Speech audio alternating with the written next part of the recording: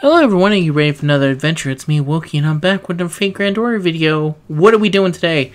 I'm gonna finally go over the Bunyan event, because it should be, hopefully, coming up soon. So that's gonna be today's video. Let's get right into it. So when does the event actually start? Well, we're gonna have a live stream on the 18th, which is when Monster Water Crisis ends. So that would lead me to assume that Bunyan is on the 19th, which would be after maintenance. That's when it would come up but they've been very weird about a lot of the everything. A lot of the everything when it comes to learning with manga collab. So it's still not officially announced and i still think they haven't put up the maintenance details either but i assume that it's on the 19th and if it's not on the 19th i don't know how much more mid into april you can go for mid-april but you know it'll get there. So let's take a look at the event itself now and go right here. So what's this event? It's the Learning with Manga collaboration. That's right. It's the event that only I have been looking forward to for two years. Everyone else absolutely hate this uh, event, uh, except for some players on the JP side who hate the event but are like, damn, I really liked a lot of the drop rewards from this event. Can you bring it back? So let's go over it. It's going to be called Serial Genesis Mississippi Mysticizers. I don't think it's called that anymore.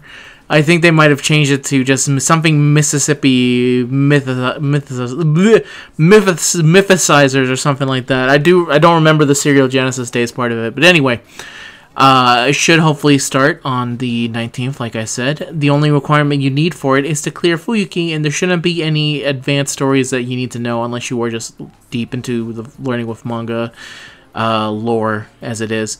In terms of the main events, there'll be a prologue. The main schedule goes kind of like this. This is kind of like a weird point system, but it's a point system that is enabled by a lotto of some kind um, as you can see here. So you're gonna have to get a certain amount of points, and the, every point will unlock the next um, part of the next uh, main act quest.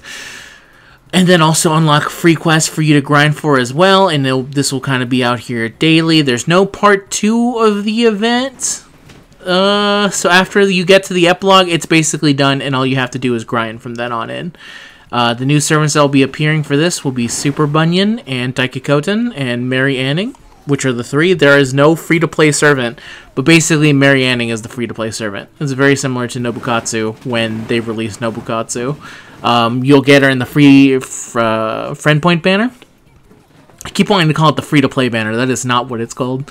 But the friend point banner, you can get her from there. Uh, it should be hopefully relatively easy to get. This is what the event map will look like, and we'll get a My Room background dedicated to uh, looking like it's a movie being directed. So, uh, event mechanics, here we go. Raise funds at the Mississippi River to become the owner of the treasure ship and the ship the, of the seven lucky gods. Clear free quest to get excavation tools, Vercurious pickaxe, the thumping hammer, and the crumbly shovel. Using the evacuation tools, you get items in the bunny pay points, and you can excavate manually one tile at a time, or use random excavation to automatically excavate excavate multiple tiles at once. You obtain uh, the bunny points, the bunny pay points uh, for each tile you excavate, and then after 10 excavations, you can reset the board. That does not mean the board is done, so just something to keep in mind. And as far as I'm aware, I think it's different every single time. I th- yeah, because you can see here in the screenshots, these two look like the same, but then in the next one, it's something completely different looking. So I believe it is random every single time. Uh, I believe anyway. If there's a set number of rotations, feel free to tell me so I would actually know myself for when I actually start the event. But as far as I'm aware of, it's random every single time. Reach a certain amount of bunny pay points to gain items, and then exchange items for the antique reel, the cigar stick fake, and the Raifuku rice ball. And then, of course, equipping the cranking increases the drop rate of this. Increasing, uh, getting the Adventures in the Children Kingdom gets the uh, drop rate for the antique reel. Jurassic Dreams gives you the cigar, and the Pleasure Hunt gives you the rice balls. Uh, as I said beforehand, you can get Mary Anning from the um, and two, uh, you you can summon Mary Anning and two craft essences from the friend point summon pool. There you go. Mary Anning yields 15 server coins per summon instead of the usual two. to make sure you can very quickly get everything related to it.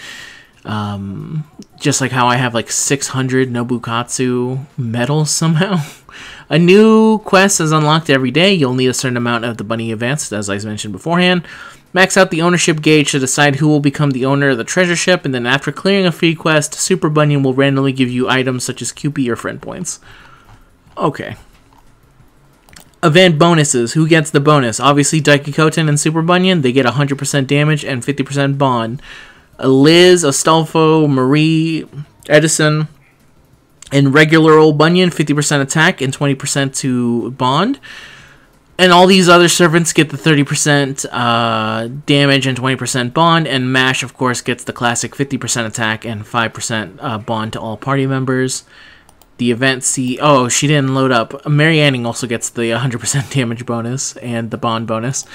The event CE is for this, cranking, here it is. Um, Buster NP damage and starting NP is uh, 30%, so it will be a free-to-play version of a 50% NP one if you can get the last copy to drop. I'm not sure if there's enough in the shop, but I can check that out real quick.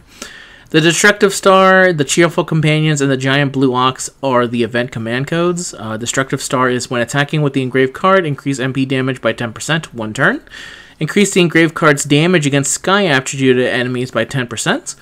Cheerful Companions is when attacking with the engraved card, remove one of the latest critical buffs from the target, and then increase engraved card's critical damage by 10%. Giant Blue Ox, engraved card ignores defense. So those are the three command codes for it. There's a summoning campaign, but I will look at that a little bit later as we look through the shop. Here you can see the pickaxe. Obviously, you're going to want to keep all your pickaxe, thumping hammers, and crumbly shovels, so you probably should not uh, I think you can probably, I don't know what that means. Antique reel. Let's go on to the next one. To get everything in the antique reel, you need 4,400, uh, 420 uh, antique reels to get absolutely everything on offer here. Uh, you can get two of the C- cranking CEs from here. Uh, 10 Mary Anning servant coins, 10 Bunyan servant coins, uh, a crystallized lore, and I can assume that that's going to be shared for all of them correct everything except for the crystallized lore. So the Bunyan, the crystallized, uh, the Mary Anning, and the Cranking CE one of are going to go in the other ones. Um, Spirit Roots, uh, Dragon's Reverse Scale, and uh, the Antique Bell of Tranquility are the um, materials you can trade in for. In terms of statues, it's Lancer, it's Rider, it's Caster, and I assume this is Assassin, so that means you'll get gold for for the film reels. Silvers will use the cigar, and the rice ball will use the um, bronze. Uh, gold info, as always, and the quick uh, code opener is for antique reel, and then yeah, then you can get a code opener for the cigar stick. This one gets the arts code opener. Along with, in terms of materials, you have the Demonic Flame of Hazuki, the Meteoric Horseshoe, and some ash. Um, and the Rice Ball gets the Buster card opener. And the Divine Leyline Spiritron, the Yggdrasil Seed, and the Dragon Fang along with all the other things, along with the e- the classic EXP stuff, three uh, 100 silver EXP, 100 four star CE, and f- uh, 50 of the five star CE. Um, not CE, um, EXP, EXP. excuse me. And then finally, like I said, this is a point rewards. So you can see here in the point rewards itself, um, there'll be one, two, three summon tickets in total. And you only need 300,000, which is honestly not that much in the grand scheme of point ladders in Fago. I feel like that's not an insane task, but maybe I need to actually see the how it looks like in game when you're going through it. 300,000 doesn't sound that much when I'm looking at it, but maybe when I'm actually doing it, that's a different story. Uh, in terms of the other stuff in there, it's, you know, obviously the Craft Essence EXP stuff, some Mana Prisms, some QP, some apples, basic stuff. The um, a crystallized lore at 100,000 and the giant blue ox at um, 15,000 stuff like that nothing too nothing too out of the ordinary here these are all the main quest stuff which i will not be looking at for here free quests there's a challenge quest that you need to have cleared the epilogue and Solomon to actually do, and from what I hear, it's kind of annoying to do, so keep that in mind. The ex- excavation, which is the main thing that you're going to want to be doing in this event. so, using excavation tools to get the items and the bunny pay points, you can excavate manually one tile at a time or use random excavation to automatically just excavate multiple tiles at once. You attain the bunny points for each tile excavated, and after 10 excavations, you can reset the board. Um, here are the items that are going to appear inside of it. Uh, this is going to be hard to describe them in, but you can kind of see here um, some of the stuff in here. I'll just uh, say the cost. For specifically the pickaxe, the 10 cost node will give you either a Chain of Fate or 20 mana prisms. The 20 cost node will give you a Hero's Proof, a Saber Gem of either red or blue. The other 20, which one of them has a sword in it and the other one has like a yellow line through it, will give you the magic sir, magical fluid and then a caster gem of either red or blue variety. The 30 cost one, which has like a little a rainbow shell in it, actually has the Aurora Steel in it, along with the Permafrost Ice Crystal and the Golden Caster Gem. And the other uh, 30 cost, which has like a, silver gem in it instead of a rainbow one, can give you a Bloodstone Tears, a Crown of Radiant Silver, or a Secret Gem of Swords, which is the gold one. For the hammer, uh, the 10 node will either give you a Fang or 1 million QP. The other, the 20 node, the one that looks like it has a Dragon Fang in it, does not give you a Dragon Fang. It gives you the Stinger of Certain Defeat, along with a either blue or red uh, Rider Gem. The other one that costs 20 looks like it just has a big old fat line in it. Will either give you a Night Weeping Iron Stake or Berserker Gems of blue or red.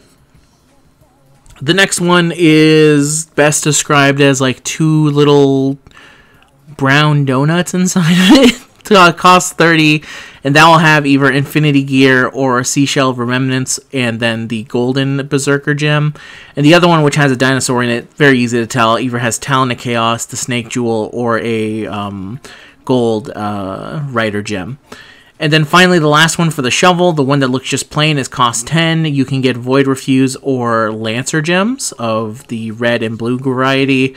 The one with a bone in it means you can get an unlucky bone and get an assassin gem of either a red or blue. The one that looks like it has like a little crumbly bits inside of it that has gunpowder in it, and then archer of uh, archer gems of red or blue variety.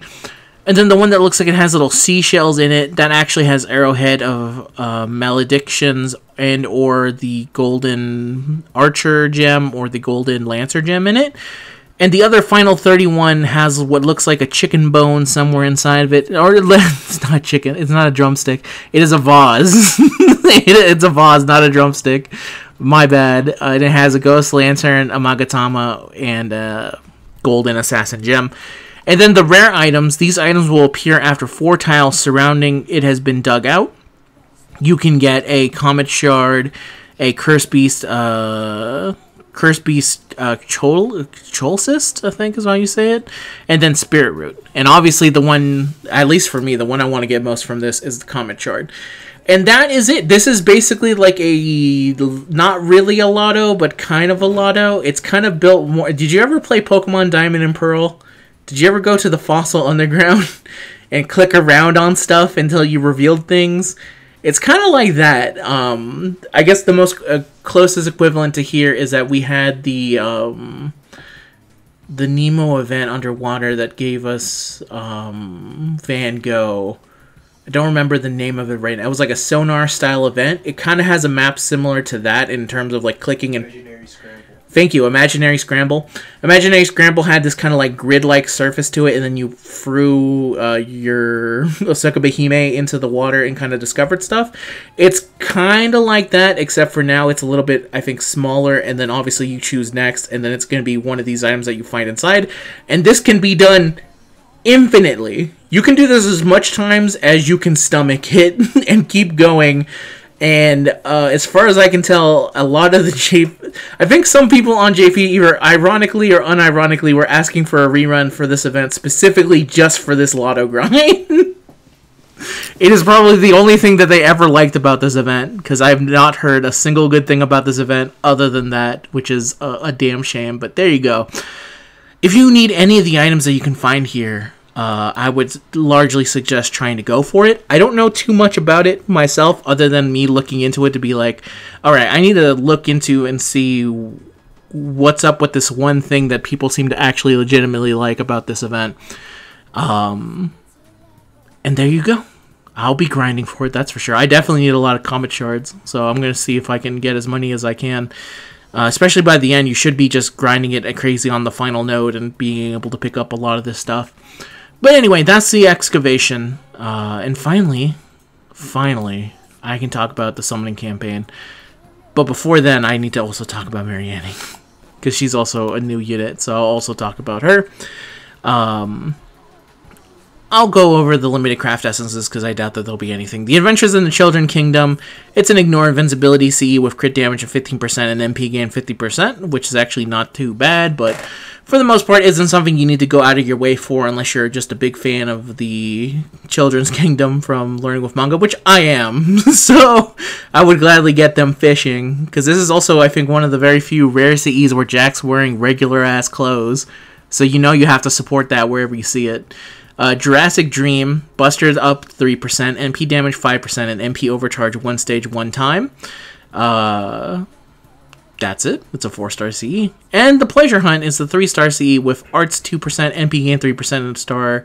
Uh, stars up plus 1 a turn and that will give you your rice balls. Nothing too crazy, but you know they are um, they do have some nice art for it. So there you go, and you will at least always get pleasure hunt because you always get the three star CE whenever you start an event.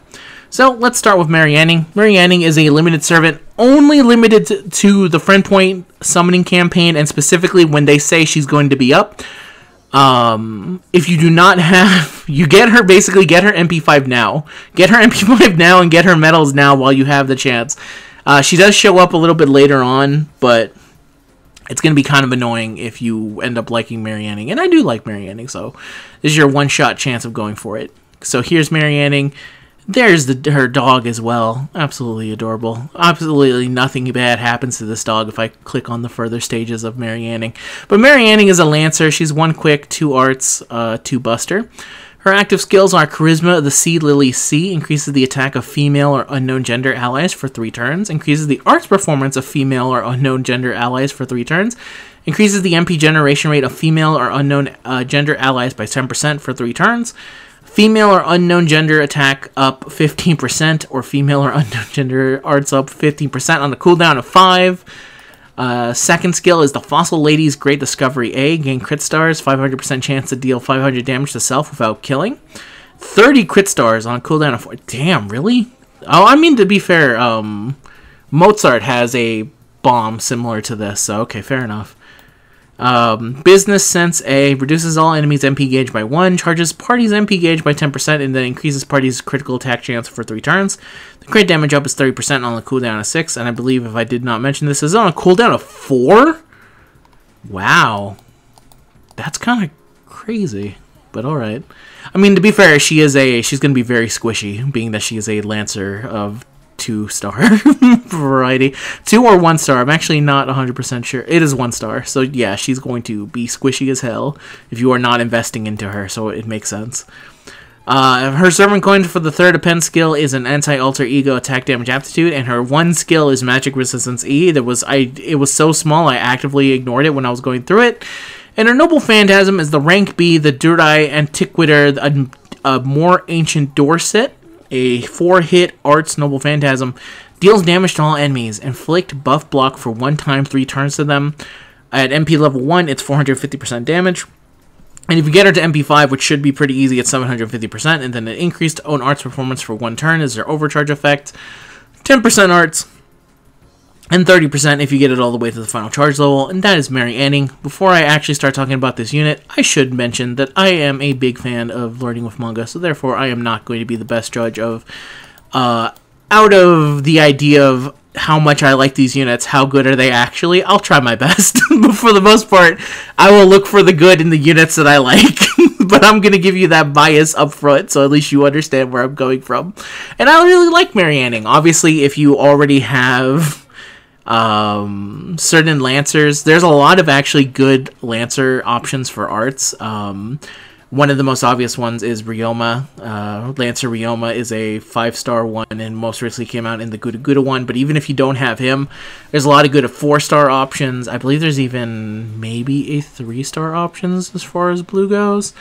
Um, if at least not, maybe not on NA. Hold up, let me do a, a quick just look at at how many AOE. Um, I always do this after the fact. I always look it up after and see like, was I right on this? Let me just do a quick oh, here we go. Oh yeah, okay. I've talked about this duo before. So obviously the big ones are Ryoma, Percival, Lambda, and Fionn McCool.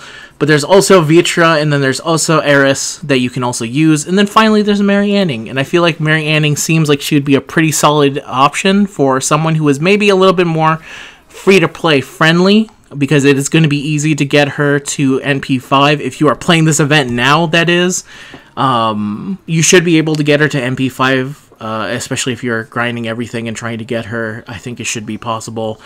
Um, she is. She seems like she'd be perfectly fine. The female or unknown gender increase, I think, is really nice. It also it helps that it, this also increases the NP generation rate as well. Uh, she is female or unknown. That is correct. Uh, so I think you can make use of her. And again, as a free to play option while you're getting ready to set up for the game, I think that could make a lot of sense. And as someone who is going to be maybe building her up a little bit more to see, uh, similar to how I built up Bunyan, I'm curious to see how she does a little bit later down at level 90. But I actually really like the way that they've designed Mary Anning here. She's able to be used for easy grinding, and then if you ever are in a situation where you're using her in like a ch- silly challenge quest like me and my brother typically do, I could see us using her and be like, all right, let's see what female or unknown gender support can we use. Boom, Mary Anning. We're gonna bring her right into the team.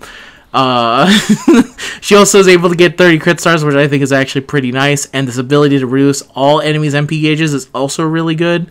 Uh, and is little tiny support. So I think she's really solid. I think she's really good. And she's also free to get. Not that bad. The, the biggest thing holding her back is the fact that she is a one star.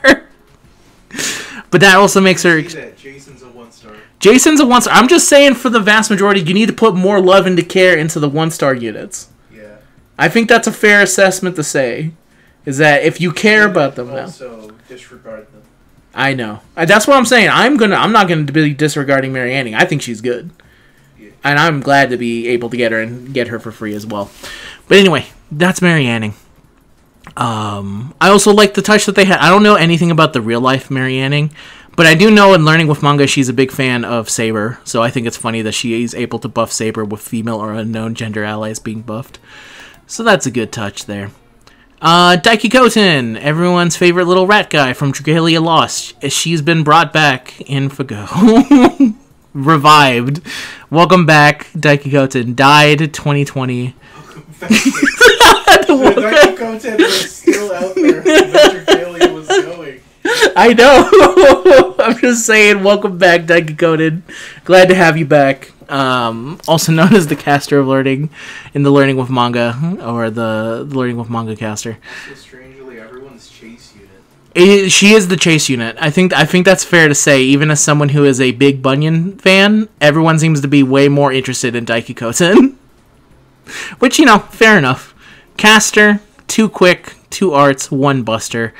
Their active skills, because it's two mice on here, um, is the Meritorious Service A. Increases own quick performance for three turns, gains crit stars every turn for three turns, recovers party's HP every turn for three turns, 30% quick, 10 star regen, HP regen is 1000, and the cooldown is 5. Their second skill is to benefit all sentient beings, charges on NP gauge, charges party's NP gauge every turn for three turns. Uh, 30% to the NP, and then NP regen for allies is 10% on a cooldown of 6.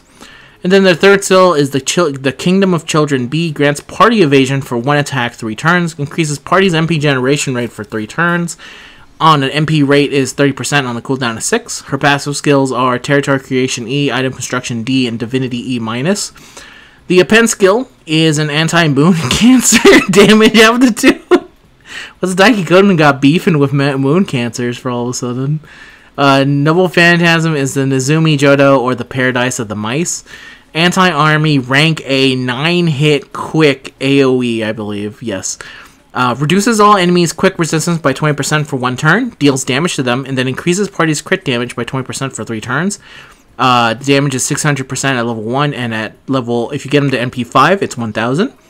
Deals extra damage to enemies with the Earth attribute, 150% at charge level 1, and if you get into the final charge level, it is 200%, and that is Daikokuten.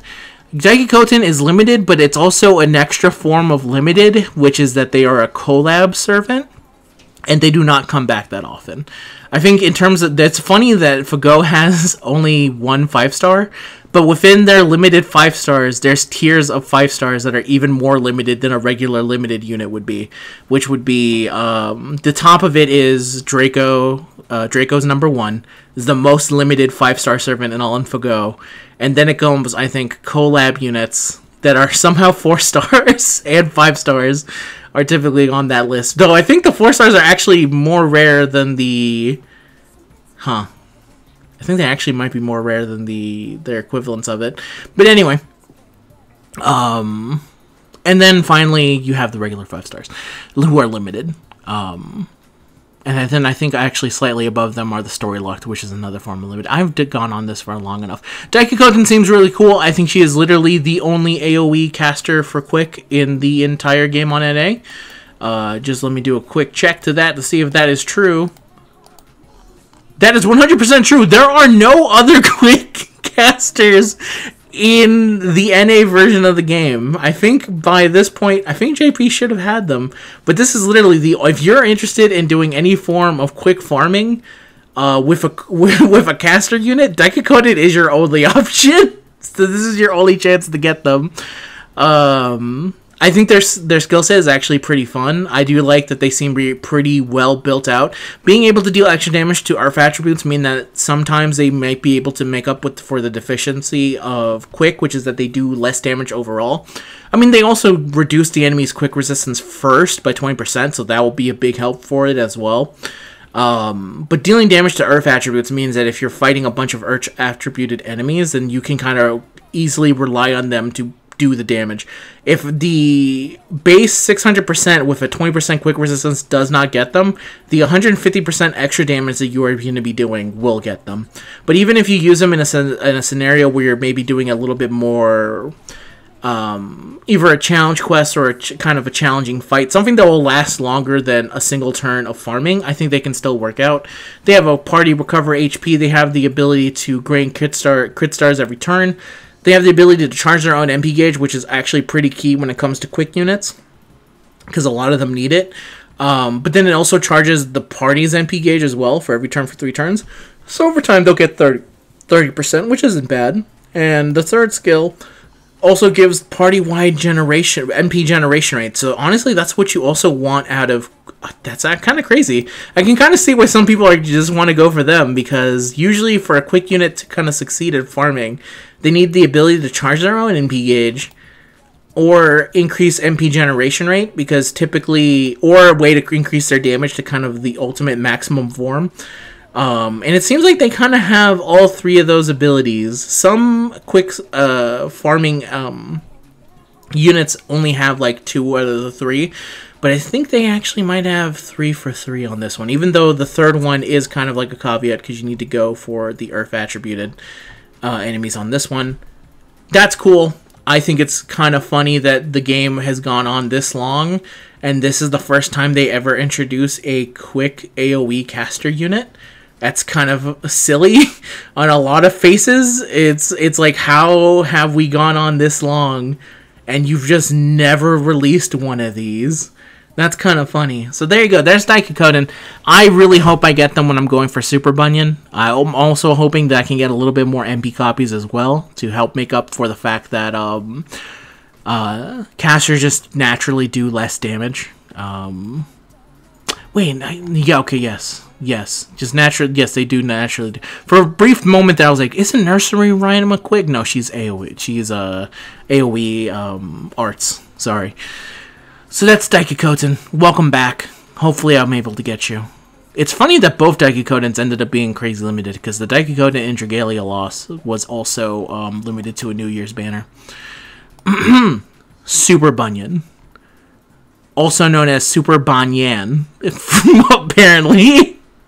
on the Japanese server, some of them called her Super Banyan, uh, Super Bunyan.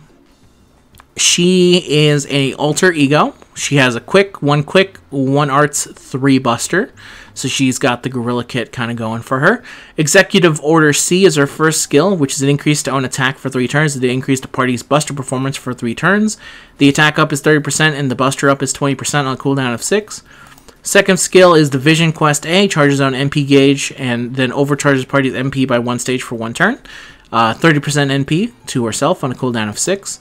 Her third skill is Let's Spread the Maple Syrup A. Seal all enemies NP for a single turn, reduces their critical attack chance for 3 turns, increases party's critical uh, uh, critical absorption star of Buster cards for 3 turns.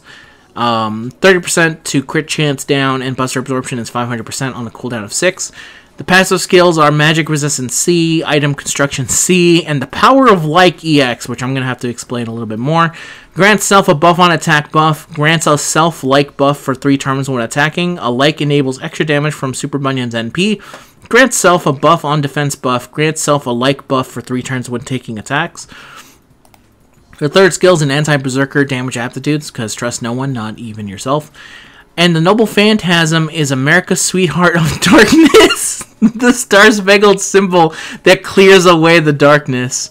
Uh, this is an amazing Noble Phantasm. I never knew that's what they called it. Rank A anti army hits three times. It's a buster. Deals damage to one enemy. Deals 100% plus 5% extra damage. Enemies own equal likes max count 10. 600% at level 1, and then NP damage at level 5 is 1000. Reduce their defense for 3 turns is the overcharge effect, with it being 10% at level 1, and if you get it all the way to the final overcharge level, is 30%. And a bonus thing to mention, this is also where um, uh, Rio Assassin and Rio Rider are also located, because you're going to need them in the later stages of uh, Bunyan, of Super Bunyan, if you want actually want to use them as was told in the lore of uh, learning with manga, where Bunny Rider literally says, "If we just pop off on Bunyan, we can just get into the game that way." That was their plan all along of getting implemented. Turns out that Rio was working ahead of time all the time. Um, hold up one moment because I'm getting my phone is work is in. I'm gonna pause real quick to confirm it. Okay, to wrap it up. Uh, Bunyan. How good is she actually? I don't know. I don't think Super Bunyan is gonna be that crazy of a unit.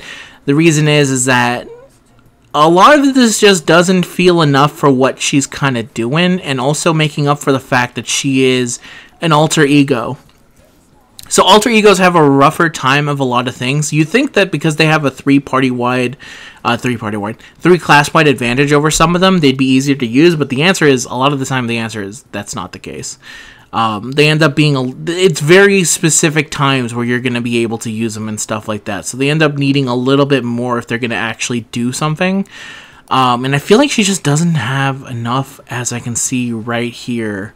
Like it's it's actually kind of weird that she increases the party's critical absorption of Buster cards for three turns because it, it is a nice buff to the party, but at the same time, she is a Buster unit herself, whose uh, entire thing is being a Buster gorilla.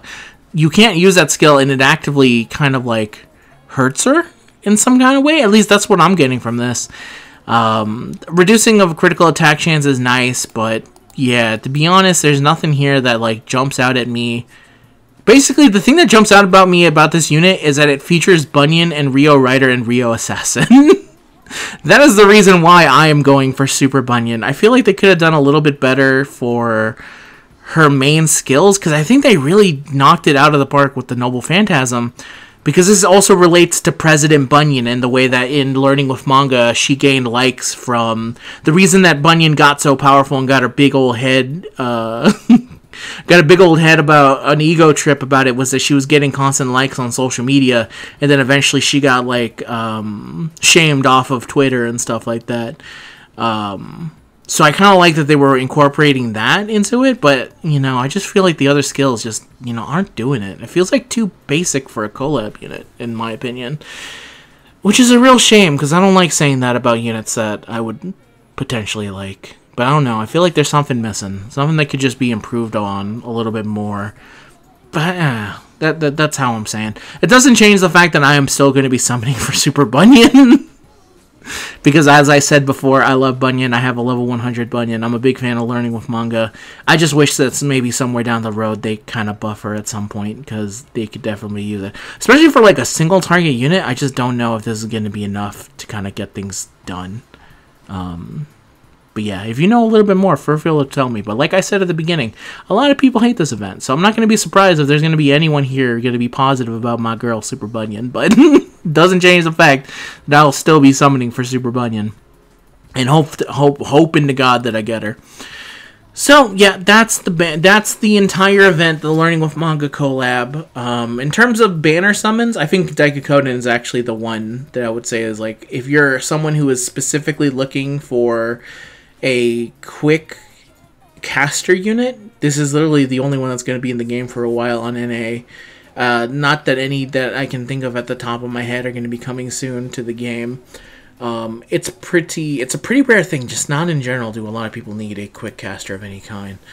Um, but yeah, I'm looking forward to the event. I've heard nothing but bad things, but then I heard nothing about good things about the water monsters, and I thought that event was just kind of okay. And to be fair, JP also is weird when it comes to what events they like. Like they don't like the Halloween summer event, and I really liked the Halloween summer event. They hated that event. They were like, "This sucks. Get get off of here." And I played it. I was like, "This is sick. This is literally just a horror movie set within with Fago characters." And I really liked it. So you know, I'm willing to give it a shot. Though everything I've heard about it sounds bad, but at the same time, some people can just be super crazy over dramatic. So it's better to experience it yourself. Maybe I'll be happily surprised, or maybe I'll be like the last collab story where I was actively like, "There's no way that this character is this popular and this badly written." So I'll see. Uh, that that that that event really last year, I can't imagine it being worse than that. That made me actively dislike uh, Eris to the point where I was like, I need to read her where she comes from because I refuse to believe.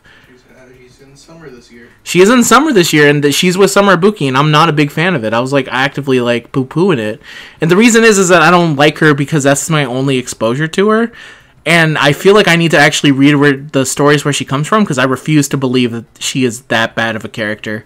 And from what I've heard from others, the event that she came with really did her a disservice. So, you know. it's better to just kind of like I don't know. I, basically, I don't know. I need to get to work, everyone. Thank you very much for watching the video. If you watched to the end of it, you can leave a like to support the channel. Um, I'll be up ahead with whenever they decide. Hopefully, Super Bunyan is on the 19th, so I can record a video right before my birthday, and hopefully get her for my birthday as an early birthday gift. And otherwise, if it's not, if that's not the case, I hope she releases close enough to my birthday that it's not a pain in the ass to try and summon for her. But that's the end of the video, everyone. Thank you very much for watching. Until next time, I wish you guys the best of luck. Peace out. Bye.